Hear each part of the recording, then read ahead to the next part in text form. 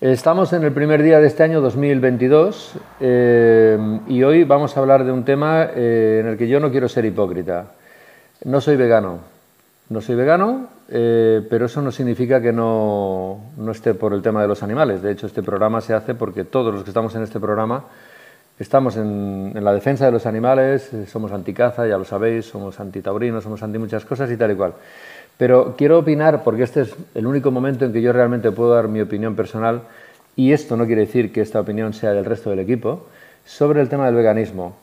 Eh, quiero dejar claro que me gustaría ser vegano, pero no me veo capaz todavía. Quiero dejar claro, y no es una excusa, que he hecho cambios a raíz de ir conociendo todo el mundo del veganismo. He hecho cambios en mi alimentación, en mi dieta y en mi forma de vivir.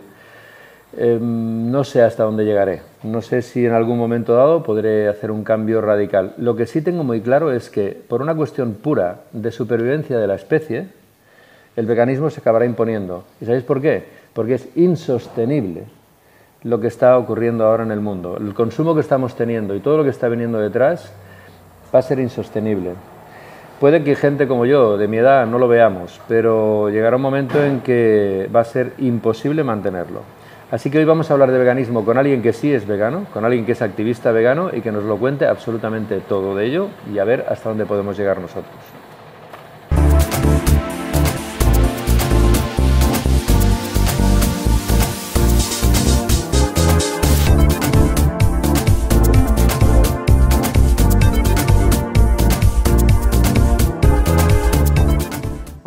Lo primero, feliz año nuevo. Eh, ya estamos en el 2021 eh, y... 22. ¿Estamos en? 2022. 2022. ¿Estamos en el 2022? ¿En serio? ¿En serio, Ari? Sí. Estamos en el 2022, día 1 del 2022. Vamos a hablar, como he dicho antes, de veganismo. Eh, Ari, como siempre, me acompaña y me corrige, menos mal, porque si no, yo me he quedado, yo me he quedado un poquito en el pasado. y vamos a hablar con Óscar, Óscar Sánchez. Eh, él está aquí con nosotros porque es activista vegano, activista espero que no sea con violencia, ¿verdad? No, no. ¿verdad? Pero también es autor del, del, libro Diario de un activista vegano, que luego hablamos un poquito de él. Pero antes, antes de, explícame quién es Óscar. ¿Quién es Óscar? Bueno, pues Óscar es un, es un valenciano residente en, en Barcelona desde hace poco más de 15 años y que, bueno, hace unos años después de creerse animalista durante toda su vida, eh, se dio cuenta viendo un documental que había estado defendiendo a los animales con la misma boca con la que se los comía, con lo cual eso era una incongruencia. Eso, y entonces, eso es directo. A partir, a partir de ahí eh, yo me di cuenta de que eso no, no podía seguir por ahí y que, y que, tenía que cambiar y me hice, y me hice vegano. ¿Pero fue de la noche al día? ¿Te costó... Tal cual. No, no. Viendo un documental me di cuenta de que había sido una traición hacia mí, pero sobre todo hacia los animales, el no tener alineados los hábitos con mis ideales, mis pensamientos. Vale, pero hacer este clic eh, y decidir voy a ser vegano, ¿qué implica? ¿Solo implica comida? ¿Implica eh, estilo de vida en general? ¿Cómo, cómo definirías la ser vegano? Bueno, el veganismo es el rechazo a la explotación animal, es decir, es no participar en todo lo que sea el uso de animales en beneficio del ser humano. No es una dieta, no es una moda, tampoco es un estilo de vida. Un estilo es mm, llevar tejanos en lugar de chándal o tener un tipo de peinado. Es una filosofía en todo caso. Está basado en la, en la ética y sobre todo en la ética de igualdad, el sentir al resto de seres vivos sintientes, los que tienen la capacidad de sentir, por lo tanto de sufrir y de disfrutar sus experiencias, aprender de ellas y considerarlos como, uno más. Si yo puedo sufrir con unas acciones, entender que a los demás le puede pasar lo mismo, es tener empatía por los animales. Pero yo entiendo que no es tan fácil ese cambio. Tú, seguramente, por lo que tú me explicas, ¿eh?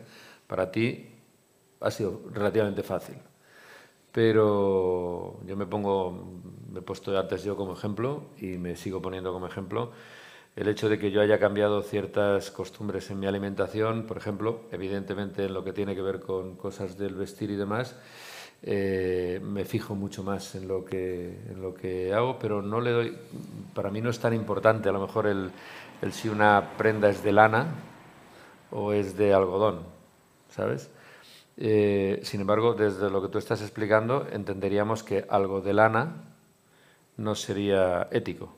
Claro, porque es la propia definición del veganismo es estar en contra del uso de animales para algo que para el ser humano es totalmente innecesario. Es decir, la supervivencia del ser humano no, no está supeditada a, tener que utilizar a los animales para nuestro beneficio. Tú puedes estar abrigado con un jersey de algodón y además que te guste y que estéticamente estés eh, eh, contento con, con él y te hace el mismo, la misma función, el mismo servicio que uno de que, ¿Y a una oveja no es conveniente eh, el quitarle la lana que a veces hemos visto a veces fotografías en las que ves ovejas que casi casi te da pena porque dices, ostras, pero, pero ¿cómo puede estar con tanta lana? Mm, pero esto, está, esto, está, esto ocurre porque el ser humano, para eh, aumentar la productividad y la rentabilidad del negocio de la utilización de, animales, eh, han manipulado genéticamente a estos, de manera que puedan eh, producir mayor, en menor tiempo, mayor, digamos, pero la mayor, mayor derivados. Hablas de manipulación genética, sí. un poco de abogado del diablo. ¿eh? Sí, sí. Eh, hablas de manipulación genética, pero eh, lo de usar la lana era más antiguo, bueno, es antiquísimo. no había manipulación genética hace dos siglos. No, no, no, lo de la manipulación genética es para aumentar esa productividad. Es decir, tú puedes coger a la oveja, quitarle la lana y hacer con ello una, prenda de, vestir. ¿no?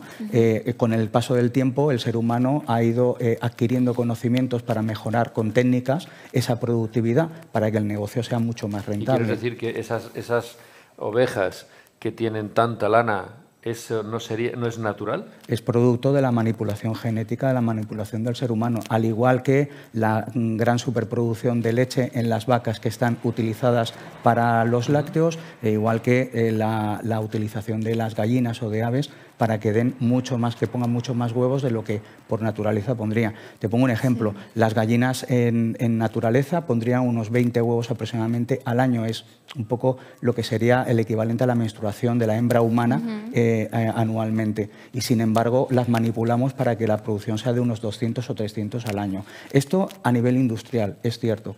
Eh, sin irnos a lo que es el trato hacia el animal, tenemos que tener en cuenta el, uso hacia ellos. A nadie nos gusta que nos utilicen para que alguien se beneficie si no hay un consenso, si no hay un acuerdo previo. Y con los animales nunca hay un acuerdo. Los utilizamos porque hemos considerado que son inferiores a nosotros y que tenemos un poder que podemos utilizar contra ellos para nosotros beneficiarnos. Eso desde un punto de vista ético es es indiscutible y por lo tanto no, debería de haber debate sobre, sobre ello.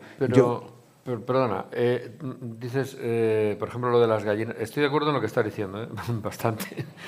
pero si una gallina pone 20 huevos al año, yo no me puedo comer ninguno de esos 20 huevos. Te, me los puedo comer. Te contesto con otra pregunta. ¿Debería de comérmelos? Te contesto con otra pregunta. ¿Tú crees que un animal que viene del tiranosaurio rex, que es un dinosaurio, un descendiente del dinosaurio, ha venido a este mundo a poner huevos para que tú te los comas? Mi respuesta es muy clara, no. ¿Por qué pone huevos el ave? Porque es su menstruación o sus futuros hijos. Por lo tanto, la naturaleza ha hecho que ese animal se desgaste con calcio de sus propios huesos para que haya una cáscara para tener unos fines que no son para nada el beneficio del ser humano. Por lo tanto, desde un punto de vista ético, ¿por qué le vas a quitar? Pero cuando no nace un pollito, que, tendría un sentido porque, bueno, es, una vida nueva, se acaba de crear, pero y los, lo, que nos, o sea, lo que nos comemos, los que nos comemos huevos fritos, eh, no son pollitos. esos, huevos no son pollitos si una gallina pone 20 huevos al año y de esos 20 huevos al año, pues, por poner, no tengo ni idea, ¿eh? dos son de pollitos, los otros... Vamos a suponer que son huevos de desecho. Y que, bueno, como están ahí, mm, bueno, pues para quedarse allí, pues me los cojo, me los meto en una, lo echo en una sartén y me los como. Mm. Es que eso no, no existe. Esa situación idílica no existe. Eso es un supuesto que nos hemos inventado para aliviar nuestras conciencias. Tú no vas a buscar setas y no vas a buscar huevos de la misma manera. Tú tienes a una gallina que, le, que, esperas que te ponga huevos para tú sacar ese provecho de ella. Los Tiene, y lo tienes en un recinto, lo tienes en tu casa, en un patio o en una zona de explotación determinada, hacinadas o no hacinadas. Lo estás haciendo uso de unos cuerpos que no nos pertenecen. Son cuerpos de ellas y ellos, ellos tienen esas finalidades, que es la de poner los huevos. ¿Y la supervivencia de estos animales, entonces, eh, quién debemos dejárselas? ¿A ellos también? Bueno, los animales deben de vivir en la naturaleza, ¿no? Siempre hemos dicho que los animales deben de vivir en la naturaleza y es la naturaleza la que debe de regir y la que tiene que marcar el transcurso de la, misma a través de todos los pues individuos y los actores de la, de la naturaleza. Una gallina hoy en día tendría pocas posibilidades de, vivir en la, de sobrevivir en la naturaleza, entiendo yo. ¿eh? Bueno, es que... Incluso una vaca. ¿eh? Es que una gallina que la obligas a nacer en una granja y a vivir engordando en una granja y en apenas... Fatal, bueno, pero es que al final lo que tú te los huevos que tú te mm. estás comiendo vienen de ahí, no vienen de alguien que va a la montaña. Pero yo, he hecho ya un cambio en eso. Bueno, pero lo que, lo que vengo a decir es que cuando muchas, veces, muchas, muchas veces la gente me dice, bueno, pero yo como huevos de gallinas ecológicas. ¿Qué son gallinas ecológicas? son gallinas, que siguen estando... son, son gallinas que siguen estando explotadas, usadas, cosificadas porque se les considera unos objetos que en el momento de que dejen de poner la cantidad de huevos que el ganadero necesita para hacer negocio, las va a mandar al matadero. El final de las gallinas y de los animales en granjas ecológicas como en granjas industriales es el mismo, es mientras me sirvas, te mantengo. En el momento que ya no me sirves, ya no te mantengo porque ya no me sale rentable y vas al matadero. Eso, desde un punto de vista ético, es injustificable. O sea que no hay una diferencia entonces porque claro, mm, ahora mismo estamos en un momento en el que mm, los productos ecológicos tienen un boom. Sí, es evidente que tienen un boom. Eh, y de hecho, muchas eh, personas, y yo me incluyo entre ellas, hemos tendido a decir, bueno, eh, no voy a comprar según qué cosas porque mm, no quiero contribuir a tal. Bueno, pues voy a comprar estas otras, bio, eco, tal, cual. Estamos diciendo que, es lo mismo, pero claro, la, manera en que viven unos animales y viven otros, yo diría que son diferentes. Bueno, eh, es lo que ha querido vendernos la industria para aliviar nuestras conciencias. La etiqueta de ecológico eh, se paga y se le pone en el producto y ya está. Luego tienes que ir a esas granjas y, han habido muchísimos casos en donde los activistas hemos entrado en granjas para demostrar que lo de ecológico es una mentira. Al final la ética, eh, igual que la pegatina de, de aprobado vegano, aprobado por por ejemplo, al final pagas un dinero para que la etiqueta aparezca ahí. Hmm. La industria funciona así. A, base de dinero, a base de talonario, consiguen eh, titulaciones y, pegatinas que sirven para, para, engañar al consumidor. en el mundo de la cosmética y en el mundo que de... no testen en animales. Eh, ahí se ha conseguido cosas. Bueno. Pero, éticamente es lo que decía él. O sea, ya podemos conseguir poquitos si em, yo qué sé, si cosmética deja de testar en animales, que ya es una cosa que hace años que tendría que estar erradicada, ¿no? Em, pero seguimos financiando la industria que maltrata a los animales de manera masiva, que luego em, están en los mataderos incluso les ponen más antibióticos, les ponen más agua para que pesen más y los vendan más baratos. Bueno, hay toda esta manipulación de producto final que esto no es ético ni desde que están en las granjas. Es que, de, hecho, los animales no deberían de vivir en las granjas. Es decir, hablar de cosas naturales desde, eh, desde las granjas y desde los mataderos ya es una incongruencia. Los animales no tienen que vivir en las granjas y no deben de morir en ningún sitio que sea matadero. Y, por supuesto, no hay bienestar animal en un sitio donde se mata el animal. No hay ningún animal que esté feliz dentro de un matadero. Ninguno. Todos lloran, todos gritan y todos acaban muriendo porque ninguno quiere dejar de vivir. Todos, quieren, todos los animales en el matadero quieren vivir. Por lo tanto, estamos atentando contra su interés principal y es un derecho básico, el derecho básico a la vida y a la libertad. Y eso es el veganismo lo que lucha es por los derechos de los animales, no el derecho a la vivienda, el derecho a la salud o el derecho que esos son derechos aplicados para inventados por los seres humanos y aplicables para los seres humanos. El derecho básico fundamental de cualquier ser vivo que tiene intereses en la vida es la vida en sí, vivir y poder hacerlo libre. Y eso los animales dentro de la explotación animal ninguno, ninguno, a ninguno se le permite ninguno de esos derechos. A partir de esto me ha surgido una pregunta, pero te la voy a hacer justo después de esta sección, porque ahora mismo voy a introducir a Sergio Torres. Eh, Sergio Torres es director general de los derechos animales y eh, forma parte del Ministerio de Derechos Sociales de la Agenda 2030. Hola, Sergio. Hola, buenos días a todos y todas. Hola, buenos días. Te hemos invitado aquí para preguntarte sobre este proyecto en el que formas parte. ¿no? em, casas de acogida para animales que vienen de familias de mujeres maltratadas. ¿Es así? Bueno, más o menos. Es un proyecto que pusimos en marcha eh, desde la Dirección General de Derechos de los Animales y lo que más o menos, en resumidas cuentas, lo que hace es eh, acogemos en una red de casas de acogida a, animales de compañía de mujeres víctimas de, violencia machista. ¿sí? Vale, ¿y cómo, cómo llegan estos animales a, vosotros? ¿Soy, ¿Tenéis un centro? ¿Sois un, un intermediario? ¿Cómo va? Como, como te he dicho, somos eh, lo que tenemos es una red de casas de acogida, no hay centros. Vale, no Porque hay al igual que al igual que las mujeres eh, víctimas de violencia machista suelen estar en sitios poco conocidos y no visibles, los animales que son eh, de estas personas también requieren cierta anonimato y cierto espacio no visible donde puedan estar, donde puedan estar protegidos durante el tiempo que, que en este caso su propietaria eh, esté en algún centro de acogida de mujeres víctimas de violencia machista, porque lo que hacemos nosotros es acogemos a estos animales durante el tiempo en el que la mujer no se puede hacer cargo de él porque esté en algún recurso eh, de violencia machista. Vale, ostras, es muy interesante y es mm, una lástima que a día de hoy siga pasando que las mujeres mm, maltratadas se tengan que, ir de sus casas y además dejar pues, a sus seres queridos para pasar desapercibidas, ¿no? Y mm, eh, la pregunta que me surge eh, sería, ¿estas mujeres después tienen contacto con este animal o es una separación para siempre? Hasta que vuelven, ¿no? Bueno, quizás hay son casos... Casas, son, casas, son casas de acogida, con lo cual eh, es, una, es una estancia temporal. Durante el tiempo que la mujer está en el recurso, eh, nosotros nos hacemos cargo en una casa de acogida, de nuestra red de casas de acogida, nos hacemos cargo de, este animal. Eh, luego vuelve con, su propietaria una vez que ella recupera eh, pues su, espacio, su, casa o, el espacio habitacional en el que, en el que esté. Una cosa, yo quería preguntarte, ¿esto está funcionando exclusivamente en Madrid o está funcionando a nivel nacional? Es un proyecto a nivel nacional, con lo cual funciona en todo el Estado. Vale, y entonces eso quiere decir que tenéis casas de acogida en todo el Estado.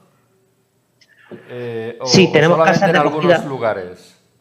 Son casas de acogida de personas voluntarias, es decir, vosotros y vosotras mañana mismo, si queréis, podéis eh, podéis ser voluntarios de casas de acogida y están repartidas por todo por toda España. Tenemos un total de las unas 1.200 casas de acogida por toda España y, son personas como, como, vosotros y como yo, voluntarias, que se suman como casa de acogida y, y, a las que contactamos en el caso de que necesitemos una acogida en algún lugar del entorno donde ellos viven. Y completamente anónimo, naturalmente, porque igual que, que las las mujeres maltratadas eh, necesitan de una protección, porque a veces hay, ¿cómo se llama esto? La violencia vicaria, y que puede, puede generarse, me imagino, en esos animales para hacer daño a la, a la otra persona. Sí. Por lo tanto, sí, eso es. Nosotros, en este caso, perdona que te haya interrumpido, eh, le, le, denominamos violencia instrumental, es decir, no es exactamente igual que la violencia hacia un menor, porque claro, un menor tiene una protección eh, mucho mayor, por suerte también. Eh, entonces, bueno, lo determinamos como violencia instrumental, que es el que se utiliza contra los animales para coaccionar o para o para amenazar a, la mujer, ¿no? Y bueno, hay, hay datos mm, que están en torno del 80% de mujeres víctimas de violencia machista con animales que tienen, o sea, que, que, dan prueba de que, de que a sus animales o han sido maltratados o han sido amenazados eh, con hacerles daño simplemente para coaccionarlas a ellas. Bueno, yo creo que está muy interesante. Eh, ¿estáis, ¿Tenéis alguna página o algún sitio donde la gente se puede informar mm, si, se ven en la necesidad, no? Sí, eh, pueden entrar a través de, de Biopet, pueden poner Biopet en un buscador de Google o pueden entrar en la página web del Ministerio de Derechos Sociales o si no, hay un teléfono también eh, que si me lo permitís lo voy a dar. Es el 673 76 5330 que es el teléfono directo de Biopet, en el caso de que necesiten... Espera, espera, repítemelo, repítemelo, que lo voy a apuntar. Sí, 673. Sí. 76. Sí. 53. Sí. 30. Ok. Vale, porque y si no, al 016. ¿Y si no, perdón? Y si, no, siempre al 016. En el 016, si cuentan la necesidad que tienen de, abandonar su casa, de abandonar su hogar y tienen miedo por, su, por el animal de compañía que pudiera quedar atrás, que lo digan, que les pongan en contacto con Biopet y automáticamente les derivarán al, al, proyecto Biopet donde nos haremos eh, cargo de, de echarle una mano en este sentido. Genial. Perfecto. Vale, muchas gracias por esta aportación. Es una labor muy grande la que estáis haciendo y sobre todo em, querer em, defender los, y, poco Conocida, y poco conocida, porque realmente mm, yo me he enterado prácticamente hace unos días de, de esta opción. Entonces... Sí. Desgraciadamente, bueno, es un proyecto nuevo, es un proyecto que lleva en marcha un año y sí que es cierto que mm, todo, todo espacio donde se pueda ayudar a distribuir la información y que, y que conozca, eh, bueno, pues nos puede ayudar a que eh, una sola mujer no retrase ni un solo día el salir de su casa por miedo a lo que le pasen a sus animales. Muy bien. Genial, de pues verdad. nada, ponemos un granito de arena nosotros. dentro, de la playa, dentro de la playa que habéis montado vosotros. Muchísimas gracias y que tengáis un, un estupendo día. Muchas gracias, Sergio. Pues ahora, despediendo a Sergio, vamos a seguir con la cápsula de la familia Llobregats, que es la familia sostenible. A ver qué nos cuentan hoy. A ver qué nos cuentan hoy. La familia sostenible. Capítulo 16. Aparatos de frío. Admite frigoríficos, congeladores, vitrinas frigoríficas, aires acondicionados fijos y portátiles, captadores de humedad eléctricos. No admite ventiladores de aire que no fabriquen frío, frigoríficos o congeladores industriales. Si compras solo la comida que necesitas, ahorrarás, no despilfarrarás y en el consumo de tu nevera también lo notarás. www.llobregats.wordpress.com Si necesitas que tu mascota viaje segura y en condiciones, Baggage Pets cuenta con los conocimientos adecuados. Confía en Baggage Pets. Son profesionales en el transporte nacional e internacional de animales. Baggage Pets es miembro de IPATA, la más prestigiosa Asociación Internacional de Transporte de Animales y Mascotas.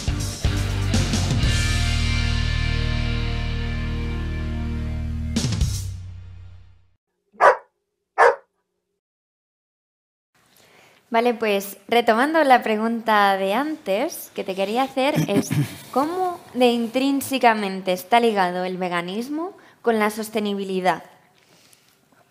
Bueno, eh, hay, hay, un montón de datos desde un punto de vista eh, ecológico que pueden, digamos, eh, avalar la necesidad del, veganismo mm, como una consecuencia positiva de cara al, planeta y al medio ambiente. ¿no?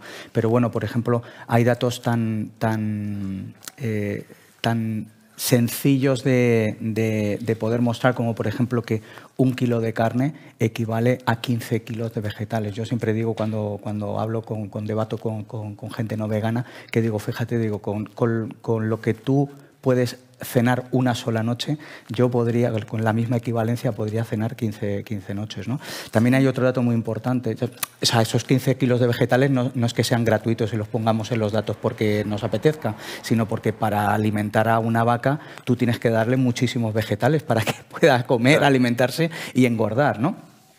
Eh, luego también hay que tener en cuenta que el 80% del terreno cultivado en todo el planeta se destina a alimentar al ganado, no al ser humano. Si ese 80% del terreno cultivado, cultivable en, cultivado perdón, en el planeta lo destináramos directamente al ser humano, no existiría la hambruna, o en principio no habría, no habría opción de que, se encargaría de que También hay que tener en cuenta que, por ejemplo, eh, la gran deforestación que se hace en zonas como el Amazonas o, o en África afecta directamente a la gente autóctona de allí porque son terrenos que se impiden para cultivar, para, para destinarlo a, la, población de allí y luego además es muchísima agua potable que eh, se destina al ganado y que se le quita a la población humana. Y luego además, sobre todo en África, eh, todo ese ganado después se vende para los países más ricos, Europa, Estados Unidos, etcétera, y no se aprovecha, o sea, ni siquiera es comida que pueda aprovechar la gente de esas, de esas zonas. O sea, cuando, a mí muchas veces me dice, es que te tendrías que preocupar más por, eh, por el hambre de, los humanos, ¿no? Pero bueno, si es que matamos a 90.000 millones de animales terrestres, ya no hablo de agua, de los de agua, 90.000 millones de animales terrestres al año para alimentar a 7.000 millones. O sea, es que está completamente desproporcionado. Sí, sí, sí. Vale, y a partir de esto, mi pregunta es, como futuro del veganismo, ¿no? Si lo, buscamos un, poco hacia esta línea, eh, ¿sería posible que en todos los países culturalmente y en todo el mundo implementaran una filosofía vegana? Bueno, eh, eh, nosotros pensamos que sí, yo personalmente pienso que, sí. Al final, desde un punto de vista mm, dietético, de alimentación, eh, fruta, verduras, hortalizas, legumbres, cereales, frutos secos, eso debería de poder ser accesible para todo el mundo. Igual que comentábamos antes, si el, terreno cultivable en el planeta destinado a consumo humano lo pudiéramos ampliar o, aprovechar muchísimo mejor de como está ahora mismo, pues sería mm, más aprovechable para todo el mundo. Sería Mm, eh, más accesible para todo el mundo. pero no solo es la dieta, eh, ojo que es muy importante tener claro de que el veganismo no solamente es una dieta, sino es el rechazo a todo tipo de uso de animales para beneficiarnos y estar en contra, no participar en, el consumo, en la vestimenta, en el entretenimiento, por ejemplo las corridas de toros, por ejemplo, fiestas con animales, eh, el transporte el transporte que puede ser montar a caballo para pasear tranquilamente o para hacer deporte a costa de ellos. O sea, llega hasta estos límites, ¿no? Claro, es que al final es usar a los animales para el beneficio del ser humano. ¿Qué, beneficio tiene o sea, qué necesidad tiene el ser humano de montarse encima de un caballo? Y sobre todo la pregunta es, ¿qué necesidad tiene el caballo de tener que soportar el peso de un humano durante años, porque alguien le ha preguntado al caballo si quiere que alguien se le monte encima. A pesar de la supuesta felicidad del animal, porque corretea y demás, claro, yo también puedo coger a mi pareja y jugar con ella montándola encima y estar jugando un rato, pero es algo que está consensuado y está pactado. Pero los animales debemos de tener em, claro de que ellos deben de vivir en la naturaleza, que en todo caso nosotros debemos de ayudarles si vemos que tienen algún tipo de necesidad, pero no la de eh, yo te cuido si tú a cambio me das algo, porque eso en nuestra vida cotidiana y entre los humanos no nos gusta. Ya, pero se usa y se hace. Bueno, pero que desgraciadamente el mundo funciona así. Sí, pero que hayan cosas mal en el mundo no justifica de que nosotros también las sigamos haciendo. No, está claro, pero la mayoría de las cosas mal que están en el mundo son causa nuestra. No, no, por, por supuesto, por supuesto, eso está clarísimo. el cambio es complicado. Pero ¿eh? fíjate que la única causa en la que nos permitimos el lujo de decir, bueno, mm, cambiemos poco a poco, ¿eh? Mm, tal, eh, o que aplaudimos pequeños pasitos es con la causa animalista desde el punto de vista vegano. No hay otro tipo de causa de contra, eh, luchas contra otro tipo de discriminaciones como el racismo, como el machismo, como el capacitismo, en el que aceptemos eh, cambios poco a poco. A, ningún machista le vamos a decir, oye, tú pega a las mujeres en vez de siete días a la semana, solo tres, y te aplaudiremos. No, es tolerancia cero. Tolerancia cero porque esos hábitos, esas, acciones eh, provocan daño. Pero, yo creo que, es complicado cambiar completamente esa mentalidad. Creo que, lo, creo que lo he hablado también con algún invitado alguna vez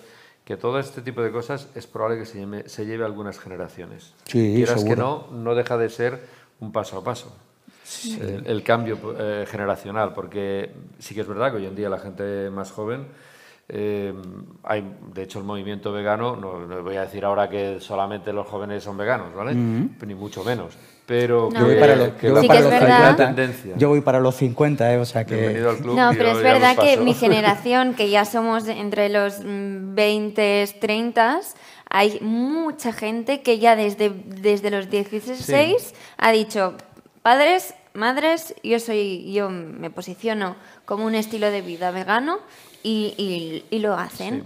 Y porque hay una conciencia más ecosostenible, medioambiental y, y, pueden ser no animalistas como tal. Pero siempre ha sido así, históricamente siempre ha sido así. La gente joven es la que sale a hacer manifestaciones y en la que mm, sale a, bueno, hoy, hay, luchar hay cosas que se tendrían que manifestar más los jóvenes y, los que tenemos ya una edad y nos hemos manifestado antes lo echamos de menos, también te lo digo. Oye, se nos va a ir muy, muy de esto el tiempo, eh, muy, muy rápidamente el tiempo, y yo quiero preguntar, y me imagino que Ari también, algunas cositas así un poquito. Eh, dime quiénes son ahora mismo, o quién consideráis que son los enemigos del veganismo. Bueno, sin duda alguna la industria, la industria de, la industria. La industria de consumo, eh, que es la que está, digamos, apoyada y subvencionada por las instituciones y las administraciones.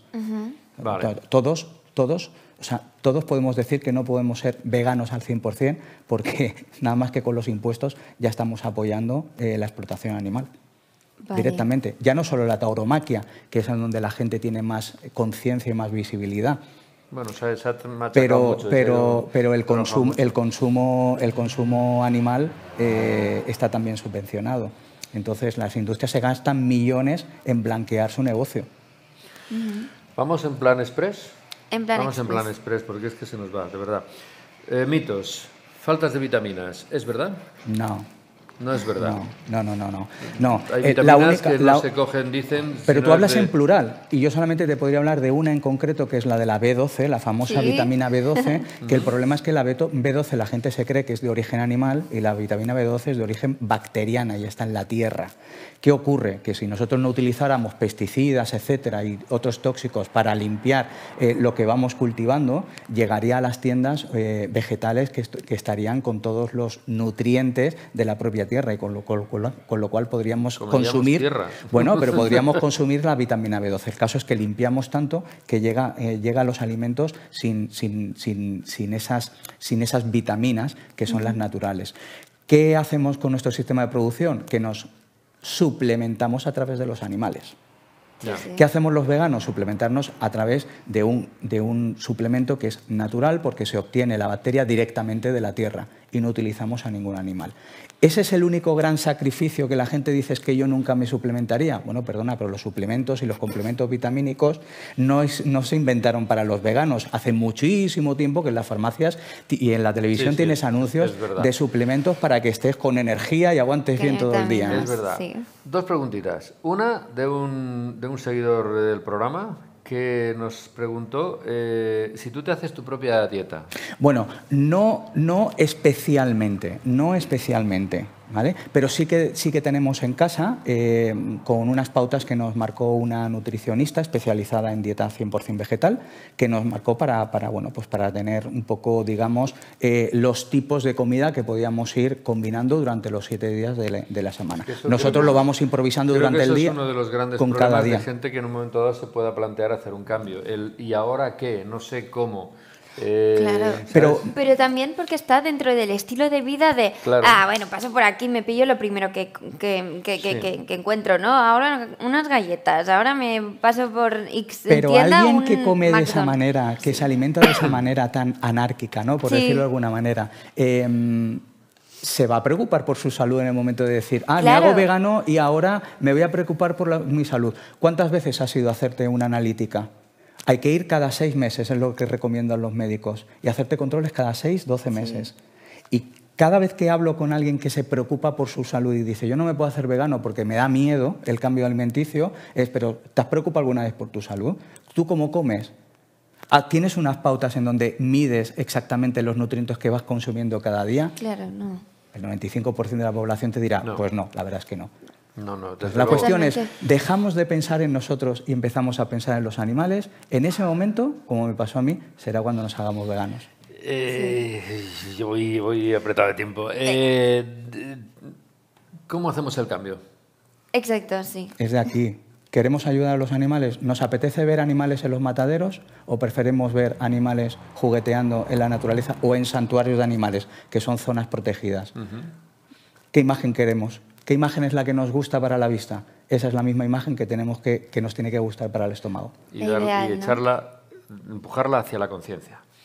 Vale, ya antes de que nos venga la de esto, porque no hemos dicho nada, eh, háblanos un pelín por encima de tu libro. Del libro. Ah, vamos a hablar del libro, porque he dicho, he escrito un libro. Eh, joder, ¿De qué va? Yo he venido a hablar de mi libro. Diario de un activista vegano, y no hemos hecho ni una pregunta. Bueno, Diario de, un activista, Diario de un activista vegano es un proyecto personal en el que mm, es totalmente altruista, es un proyecto que es un libro que yo he escrito eh, destinado y con el objetivo de que la gente no vegana lo lea, se conciencie o, eh, conseguir invitar a, invitarla a reflexionar para que gente no vegana se haga vegana, entienda que debe de hacerse vegana. Para mí el veganismo es una obligación moral, es un imperativo moral.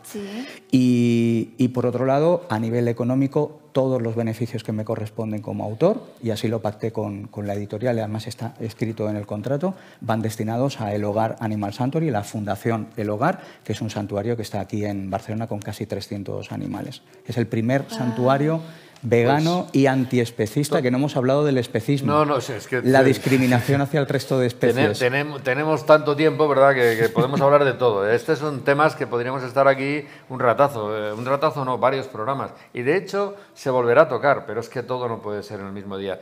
Eh, ¿Lo pueden encontrar el libro en, tiendas? pues lo pueden encontrar en, librerías, grandes almacenes, en librerías pequeñas. Si no está, lo, piden por el título y en dos días lo tienen. Lo pueden comprar online y se envía a todo el mundo. Se está vendiendo en todo el mundo. Muy bien. Y felicidades. Muchas gracias. Qué guay. Bueno, es Venga, que, se nos queda una tenemos una adopción, ¿sabes? Sí, la haré muy, rápida. Mm, la adopción de hoy es Pancho. Es un perrito monísimo de 10-12 kilos, em, pequeño mediano, y eh, viene de la asociación Vila Animal. Em, Pancho tiene 10 años y ha estado toda su vida viviendo en un zulo con, eh, con 20 perros más. Entonces, ¿qué es lo que necesita Pancho? Pancho necesita muchos mimos, es un perro fiel, es un perro cariñoso y ahora mismo eh, llegó al refugio Alcau en este mayo pasado. Entonces, bueno, mayo pasado del año pasado, ¿eh? Em, entonces está buscando. Mayo es del año pasado. mayo del todavía estamos a día 1, así que. Claro, es que está el cambio de chip este. Eh, pues nada, si quieres adoptar a Pancho, os te puedes poner en contacto con nosotros y con Pancho viene todos nuestros em, objetos de, nuestros colaboradores. Decir una cosita solamente, que tener 10 años a un animal como este metido en un zulo, em, yo creo que debería tener como mínimo 10 años de cárcel. Como mínimo para compensar, simplemente. Porque es, me parece una barbaridad. Diez años en un zulo es, es una... terrible. Eso es maltrato animal. Maltrato no, eso es salvajismo. Bueno, es igual, no voy a entrar, que me caliento. Venga. Pues bueno, Pancho se merece una nueva oportunidad, como todos los perros que están en esta misma situación, y si podemos hacer algo para que salga adoptado, lo vamos a hacer. Y esto es por parte de nuestros colaboradores, ¿no? Eh, con, con Pancho te ofrecemos un pienso UNAT por parte de Defensa Animal Profesional, te ofrecemos un adaptil para que Pancho se sienta mejor en casa por parte del laboratorio Esteba, mm, regalaríamos una taza con la cara de Pancho monísima de, por parte de Impresiones Puncat y por parte de City Dogs os daríamos un collarcito y una correa para Pancho. Así que ya sabéis. Que ya tiene, pero estrenaría. Claro, se lo merece, ¿no? Eh, adoptada Pancho, escribidnos a través de Animales en las Ondas. Despedimos a Oscar, porque yo soy fatal con los Te iba nombres. A llamar vegano, pero. No. Pero que muchas gracias por participar en este programa. Al final, todos los argumentos que nos has dado, si los desmenuzamos así, eh, el sentido de la vida queda muy mm, moralmente que no se aguanta por ningún sitio, ¿no? Y ya sabemos que para hacer el cambio, leer el libro. Nos tenemos que ir, el libro, sí, nos tenemos que ir. Eh, nada, y si me eh, permitís, eh, quería hacer un regalo que es el, el regalo del libro. Nos levantamos, nos levantamos, hay que ponerse de pie. Para, por agradeceros este pequeño espacio, el ratito que me habéis Este es el libro, porque ya al menos tendré una guía para poder empezar. Lo que pasa es que nos lo iremos pasando por primero, ya está. bueno, es un libro que os he dedicado a todo el equipo, a ti Mario, a Ari, a Rocío, a Xavi, a ah. todos los del equipo. Son nuestros técnicos que están ahí detrás. Eh, y pues nada, agradecimiento por este ratito, por habernos eh, cedido este espacio para poder hablar en favor de, los animales.